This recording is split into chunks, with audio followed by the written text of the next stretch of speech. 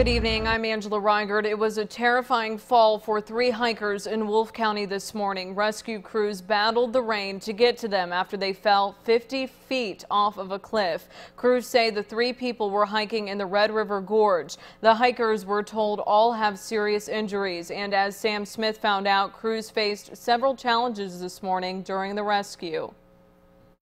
Uh, we got a call just after midnight from Saturday into Sunday morning because three hikers fell. Officials don't know what they were doing in the Red River Gorge this weekend, but they know where they found them at the bottom of a cliff that's 50 feet high. Two of them landed on a slope and ended up rolling toward the Red River, and both of their feet and part of their legs were in the river.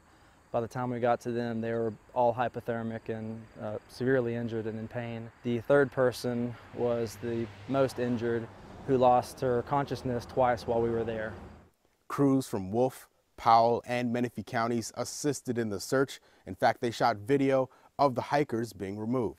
We have no footing on this side, guys. There was some brush and some trees on the edge of the cliff, so it's possible that they were uh, unable to see what was on the other side of it. And since it had been raining off and on all day, everything was pretty slick.